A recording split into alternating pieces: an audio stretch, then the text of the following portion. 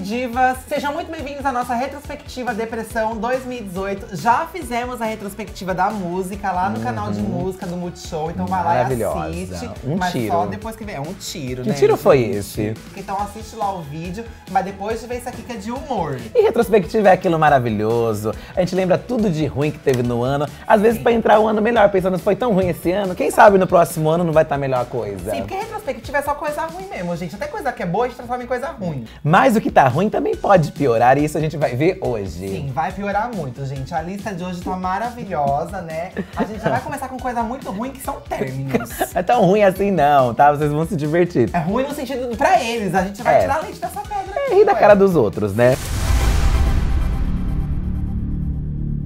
Vamos falar de Brumar. Já vou entregar assim já no começo do vídeo que Brumar eu não aguento mais. Mas acabou, né? Não então, tem mais o que aguentar. Gente, é vai e volta, vai, é mais que o Kevinha Pavanelli, é, todo, é sabe? Nossa, tá batendo muito na mesa, calma. Tô nervosa. Eles pensam que a gente não sabe a estratégia deles de marketing, mas a gente hum, sabe por quê. Porque tem uma teoria de que Neymar e Bruna só voltam em momentos que os dois estão no ápice. Sim, aí ele vai fazer a Copa, volta. Esse último término, a gente teve o motivo do ele não, né? Que disse que ela postou ele é, não. Teve, teve um complemento que foi o um negócio do ele não. Aí ela curtiu um negócio lá que tava falando que se você namorasse alguém que era contra o ele não, e é porque você tava sendo conivente com aquilo. É isso aí, gente. O Neymar meio que deu uma pinta de bolsominion, assim, e ela não gostou, entendeu? E aí tá no jeito dela, sabe? Mas ela disse que não foi esse o motivo do término. Pois eu acho que também foi isso. triste. Muito triste. Tô tão triste que eu tô até rindo. Gente, agora vamos falar de coisa boa que é casamento. Porque ah. por um lado as pessoas terminam, por outro lado as pessoas casam. pra depois separar também. Mas casamento real, que é o do príncipe Harry, gente, dura. Essas coisas é dura. Porque eles são todos, assim, cheios de tradições. Né? Obrigados. É uma vergonha pra família tradicional lá das rainhas, tudo terminar. Rolou casamento e, e, foi legal, né? Porque o príncipe Harry, ele casou com uma, uma camponesa. Sim, que... e foi lindo o casamento dele, gente. ela tava belíssima. Tava belíssima. Ela não era camponesa, tá, gente? Ela era uma atriz, tá? É a Meghan Markle. Ela faz, fez série até, toda chique. Acompanhamos o casamento real. Achei tudo bem chique e ao mesmo tempo cafona, né? Porque aquele povo usa aquele chapéu lá que parece uma mesa de frios lá, aquele negócio esquisito. Mas foi elegante. Foi, foi elegante, elegante, né? Sabe? Principalmente se comparar com os casamentos que teve aqui no Brasil no, no, ano. Não, mas eu acho que esse próximo casal, gente, é como se fosse o príncipe Harry e a Meghan, você não acha? É praticamente, você parar pra pensar. Eu acho a mesma coisa, é o mesmo patamar de chiqueza. É a realeza do Brasil. É a realeza do Brasil. Que é o Whindersson e Luísa. O rei do YouTube e a rainha do pop do Brasil. Estamos falando dos dois. Casaram longe da imprensa, mas a gente ficou sabendo de tudo por quê? Porque a gente vive na internet, a gente viu é, tudo. Porque o povo tem celular e faz isso, eles pois é. sabem por causa disso. E o casamento isso? foi uma cafonagem, gente. Cheia de planta rosa, um monte de flor. Acho que foi o casamento com mais desmatamento. Está aberta a problematização contra casamentos com plantas. Pra quê? Nem tem graça você pegar o buquê, porque tem tanta planta, você vai fazer assim que você pegou o buquê, pronto, peguei o buquê. Os detalhes do casamento. A Luísa usou um vestido de 45 quilos. Pesa Olha, mais que, que, que ela o vestido, negócio. gente. Pesa pedrarias. Meu Deus, que chique. E o Whindersson casou todo de branco. Cafona. É. Não fomos convidados, então a gente fala mal. Ah, eu nem queria ser convidado também, só a gente chata, queria, hétero, não. casamento hétero chato. E o William Bonner também se casou esse ano. Ninguém quer saber de William Bonner, a gente Ninguém quer saber quer da saber. Fatinha e do boy dela. Gente, eu adoro a Fatinha, acho que ela tá super feliz. Porque depois que ela terminou com o Bonner, ela ficou muito melhor. Quando ela que era casada com o Bonner, ela só vivia na Americanas comprando ovo de Páscoa. Pois é, olha a situação. porque gente. todo ano a gente fazia um post da Fatinha chocada com os preços do ovo de Páscoa. Você acha que esse ano ela vai fazer isso? Não, porque ela tem o próprio programa dela, ela ganha muito mais e ela tem um boy muito mais gostoso do que o William Bonner. Então ela vai comprar uma cobertura de chocolate pra passar naquele boy. É Mas assim, o William Bonner ele casou com a Natasha Dantas, a fisioterapeuta. Famosa. Então é bom que já ele já tá na terceira idade, então ela já dá uma ajudada ali né, nos negócios dele. Mas a expectativa é ano que vem o casamento da Fátima. O William Bonner a gente nem quer saber dele. E agora vamos falar das tretas que aconteceram em 2018 e não foram poucas. E de treta a gente gosta, a gente entende. Pior é que é tudo em redes sociais, né? Tudo bem explícito pra gente ver a treta. Sim, gente. Olha, a Giovanna bem que ela tretou muito com o Thiago Gagliasso, que é o irmão do Bruno Gagliasso, seu cunhado. Ela tretou muito feio com o Thiago. Sim, por causa de política, justamente Sim. por causa disso. Eu Você... achei o Thiago bem do folgado. Não, esse, esse é um caso que é uma treta assim que reverteu, acho, pro outro. Porque assim, ele tentou expor ela, mas ele que acabou se ferrando, porque ele expôs que ele é um encostado, né, gente? Se você parar pra É, ver, né? gente, Ele quis causar lá, aí ela jogou na merda no ventilador. Falou que o Bruno Gagliasso sustentava o irmão dele, que ele emprestava dinheiro pro irmão dele, que ele não tinha que estar falando nada. E o melhor dessa treta, gente, é porque ela ainda se espalhou em outras pessoas, ó. Porque a Bruna Marquezine foi metida no meio. E o Neymar foi metida no meio. E o Gil Cebola, seja lá quem ele for, também se meteu no. Será que é o pai do Chique, É o Cebolinha? pai do Cebolinha, live action da Mônica chegando, né, gente? Ó. A divulgação tá pesada. O Gil Cebola, ele comentou lá, gente, no meio da treta, assim: Hum. Thiago, se você quiser, você pode vir pra minha casa. Sabe? Você pode morar comigo, que eu te ajudo, amigo. Ah, aí, o que, que aconteceu? Uma pessoa comentou aí embaixo. Esse é outro que vive às custas dos outros. Do Neymar, mais especificamente. Do Neymar, especificamente. O que aconteceu? O Bruna Marquezine foi lá e curtiu pra confirmar. Se curtiu é porque é verdade, gente. Se curtiu é verdade, gente. É, que treta. a, a forma dela responder a isso, concordando, é dando um like. Dando um likezinho. Sim. Amei. Lição de blogueira. Se você concorda, dá o like. E agora, uma treta internacional e uma treta bem viada. Essa aqui é uma treta, porque hétero nenhum vai entender nada do que tá acontecendo aqui. Você conhece a Sarah Jessica Parker? Eu conheço porque eu sou bicha velha, né? A Sarah Jessica Parker, ela é do Sex and the City, maravilhosa. e ela é daquele filme Abracadabra que eu amo, das bruxas. Ai, né? Como é, que, como é que é a música mesmo? Vem, criancinha, eu vou te levar. Enfim, a Sarah brigou com a Kim Cattrall. Cattrall. Kim. Cattrall, que é outra. Ela faz uma outra personagem em Sex and the City também. Enfim, as duas fizeram a série por anos juntas, assim. Muito tempo, muito tempo. O filme também, né? Teve vários filmes, vários ou dois, três, não sei. E normalmente a gente considera o quê? Que todo mundo é amigo, porque tá fazendo a série junto, né? Mas não, gente, não é assim. Porque assim, o irmão da Kim faleceu. Ai, e gente. aí a Sarah Jessica Parker foi lá dar as condolências, falar, nossa, não Tá sei o que lá. Só que a Kim ficou revoltadíssima. Por que, gente, né, amiga? Ficou revoltada porque ela achou uma falsidade dela, porque ela não olhava na cara dela, não falava com ela pra nada. Mas aí a Kim também quer demais. Porque assim, você trabalha com a pessoa, gente, você não é obrigada a dar bom dia todo dia, mas se morre alguém, você vai dar as condolências. a Kim foi Então, muito malvada, não gostei. Eu ouvi boatos assim de que a Jéssica era bem chata, assim, bem antipática com o pessoal da série. Eu também seria, eu seria a principal, ela é a principal, ela pode ser. Ela era gente. é tipo Chaves. Se ela é a Tipo principal, Chaves. ela pode ser. Nossa, Sim, quer tudo dizer- a ver com o Chaves, É o gente. Chaves, o Chaves é tretado com a Chiquinha, você não sabe? Ele morreu, né? Morreu, Tá mas mor- aí, é, e se ela mandou as condolências pra Dona Florinda? A Dona Florinda vai ficar nervosa? Vai dar um tapa na assim? Igual a Copa do Mundo. Porque, por exemplo, a Copa do Mundo pra mim, esse ano ela flopou, gente. Sopou. Ai, flopou a Copa do Mundo. Já foi muito mais barulhenta. A Copa do Mundo foi a única coisa que uniu o povo brasileiro. Depois foi a destruição total, né? Depois da Copa do Mundo. Sim, mas a Copa do Mundo, gente, achei que demorou pra acontecer. Assim, ela foi engatando, sabe? Hum. Porque as ruas não estavam sendo pintadas, as bandeirinhas não estavam sendo colocadas. Ninguém tem dinheiro pra gastar com tinta. Não, mas pra, pra futebol, brasileiro sempre dá um jeito. E a Copa flopou, e junto foi a música do Felipe Neto também que flopou da Copa. Que eu nem lembro que música que é essa, gente. Não, era uma música horrível, que bom que você não lembra. Nossa, o Biel também fez um clipe da Copa.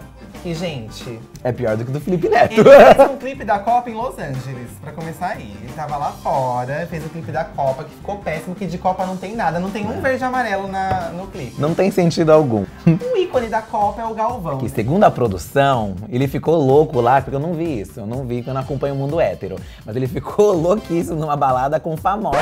Seriam famosos russos? Seria Tatu? Seria Finchicer, da Alda Finchicer? eu queria estar lá. Quem tem famoso? Tem a Anastácia, Tatu, o Vitas. Acabou. Olha aí, olha aí, olha aí, olha aí, o bicho pegou, mostrou enlouquecer. É, ó, eu ficaria super doidão se fosse com as Tatu. Não, não, não recrimino o Galvão. Falando em sapatões, gente, vamos falar da Fernanda Gentil. Mas uma verdadeira, né? Que Uma Tatu era falso. A Tatu era sapatão de Taubaté. Tal A Fernanda Gentil é sapatonista. Tal Betoskovski. E, inclusive, ela assumiu que é sapatão. Achei maravilhosa. Rainha. Mesmo estando na Globo. Sim. E aí foi lá, assumiu que é sapatão, né, gente? E ela foi super irônica. Eu, por exemplo, eu tô aqui bem na atividade, né? Eu tô bem menininha. Não, Fernanda, e essa não é uma orientação só, não é uma orientação só pra Rússia, né? E ela falou, gente, estou aqui na Rússia bem menininha. pra fugir da polícia, né? Porque lá na Rússia, gente, o povo é homofóbico. É, na verdade tem umas leis lá, né, na verdade, que recriminam qualquer tipo de manifestação homossexual, homofetiva. Então, tipo, você não pode dar de mão dada, não pode dar beijo. A Fernanda irritou bastante na Copa, né? A gente até fez vídeo É, dela. acho que ela assim. foi o maior ícone dessa Copa, foi a Fernanda Gentil, gente. Porque é muito legal também você ter uma mulher à frente do esporte, sabe? Sim, Teve suruba na Copa, dizem que teve. A seleção mexicana. fez- Eu tô imaginando o elenco do Chaves de novo, desculpa. De graça! Quando o Kiko chega, Chaves tá brincando de quê? De avião, por quê? Quer me comer? Nossa, isso evoluiu rápido, hein? Imagina, olha, mais de 30 meninas estiveram lá. E meninos também, tudo pau. É, aconteceu, né, gente? Ai, gente, olha, agora é um momento icônico deste ano. Esse, esse momento é muito icônico. É, eu acho que a gente tem que ler com as palavras do texto, tá? Pois é, gente. Em 2018, teve isso também. A Kéfera estreou como atriz numa novela da Globo. Só se fala em outra coisa. Gente, agora vamos explicar. É o seguinte: é a primeira novela dela, é a novela das seis, entendeu? Novela das seis não costuma irritar tanto, então também o povo tem que dar um Não, desconto. não, a gente tem que falar assim uma coisa bem legal. A gente não vai, a gente vai zoar a Kéfera, claro, porque estamos zoando todo mundo. Mas é bom falar que assim, que legal um youtuber sair do YouTube e ir pra TV, poxa, é um lugar de Sim. destaque, independente qual personagem seja, qual horário seja, é Também super até legal. porque a Kéfera, ela entrou no YouTube com o intuito de ser atriz. Ela sempre falou que ela sempre quis fazer Sim. novela. Eu só sei que eu acho que a Kéfera, no próximo prêmio Multishow, ela tem que deixar os outros falar. O povo acha que a gente brigou com ela no negócio da live porque ela mandou a gente baixar a bola. Vai lá pro estúdio então pra Kéfera puxar o saco da Anitta. Eu, pra dizer, depois Vai lá então. puxar saco dela. Que é só isso que ela faz, puxar o saco. Tá o Gianni tá falando que tá adorando. Que ela tá cala a boca aí, é é. questão de puxar saco, é questão de reconhecer o talento que ela tem. ô. Cala a boca aí, vocês. Gente, Gente, Eita! a gente manda shade aqui mesmo, ao É vivo. isso aí. TV. A gente tá aqui Abaixa a diretamente. bola aí, ô dois. Estamos aqui diretamente do sofá da Hebe. Ai, Ai, gente. gente, eu falei coisa pior pra ela e continuo falando. Kéfera, para de divulgar a sua personagem no Instagram que não vai acontecer. Espera acabar essa novela e começa outra. Agora tem os memes de 2018, né? Foram muito bons os memes desse ano, eu Ah, amei. Tem uma coisa que salva a nossa vida, são os memes, né? Está tudo uma Porque porcaria. de tudo que é ruim, por exemplo, a Copa pra mim, ela só irritou por causa de meme. Vamos começar com um dos mais recentes, que é a Barbie fascista. Amo. Gente, é um dos melhores memes desse ano, é a Barbie fascista. Eu adoro, principalmente É. quando botam áudio de pessoas em cima da Barbie, assim, nervosa, gritando. Eu amo. Ah, você tem privilégios? Eu tive privilégios por quê? Meu pai é sim empresário. Trabalhei sim com o meu pai. E se eu continuei trabalhando com ele, foi porque eu mereci! E se você não conhecer a Barbie Fazenda, provavelmente você conhece alguma blogueira que parece com ela no Instagram Sim. e faz o mesmo discurso que ela. Ursal, o meme da Ursal, gente. Então, então, que foi o que o Daciolo, inclusive, falou, né? Sim. Falou achando que era verdade, mas era tudo uma coisa que nem existia. O senhor pode falar aqui para a população brasileira, para a nação brasileira, sobre o plano Ursal? Senhor tem para dizer? O plano Ursal, União da República Socialista Latino-Americana. É, ele acreditou naquilo e acabou gerando um monte de ursinhos carinhosos politizados. Ó, é verdade esse bilhete, esse é bem famoso. Esse foi criado na inocência, ó. Esse foi incrível porque foi uma criança, né, gente? A criança mandou um bilhetinho lá pra mãe, fingiu que era a professora escrevendo que amanhã não ia ter aula. E lá embaixo, ela, pra provar que o bilhete era verídico, ela escreveu que é verdade esse bilhete. Um fofinho, Pois se né? eu fosse a mãe, eu deixaria ficar em casa só pela criatividade. Mas sabe qual é o problema? É que começaram a implicar com a mãe. Falaram que, nossa, eu- é, como você deixa a criança enganar assim, essa criança querendo fazer isso, querendo enganar as pessoas. Gente, é uma criança. Ai, Quem não, nunca- porque quando você era criança, você nunca pensou em ficar em casa. Nunca quis ficar em casa. Ai, gente, pelo amor de Deus. Você não é que esse povo tudo velho que leva testado falso no trabalho. Aí vem falar da criança que fez o rolão no negocinho. olho pra faltar no trabalho, gente. De quem você está falando? De você. De você. Quando eu namorava ele, gente, chegava lá. Gente, eu trabalhava de telemarketing. de- Eu trabalhava de telemarketing. A É. escala 7 por um dia. Trabalhar no Natal, gente, eu não vou. É um trabalho digno, é? Não vou trabalhar no o? Natal. Olha, você merece o quê? Um murro na POC. Ai. Que é o próximo meme. Gente, murro na POC é uma coisa assim que foi problematizada, porque o povo problematiza tudo, né? É, mas era, sabe, é uma brincadeira, Mas gente. eu acho que é o seguinte, é carinhoso o murro na POC. Sim, tem voadora na POC. tem um monte de coisa na POC. tiro na POC, Ai, tem que horror. POC, É né? POC é uma palavra que botou. Pra quem não sabe, POC era usada pelas gays antigamente.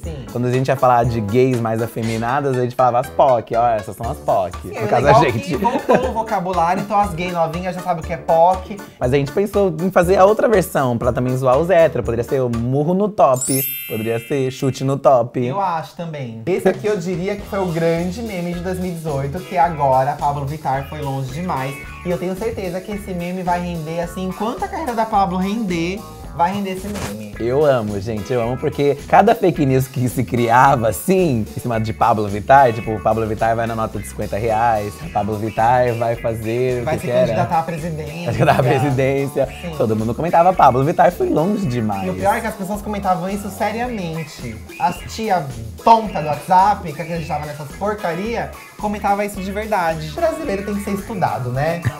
Olha, agora o canarinho pistola.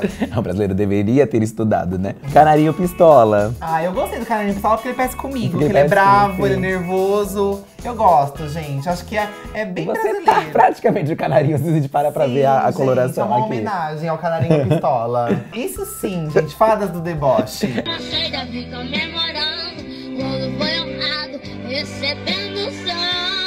É, a Fada do Deboche, da, da mesmo negócio que virou sucesso, também caiu também na mesma hora depois, porque descobriram que a família tava fazendo uns golpes lá, meio esquisito, né? Você não pode dar mão que já quer o braço todo, né, gente? Esse é o problema. Aconteceu muito nessa época de eleição é que vários memes clássicos foram tirados do Vale porque as pessoas que eram desses memes se posicionaram contra. Sabe, por exemplo, a André Surak, ela foi tirada do Vale dos Memes. Foi tirada, amiga. A gente defendeu você por um bom tempo, agora não tem mais como te defender. Amiga, não tem como te defender.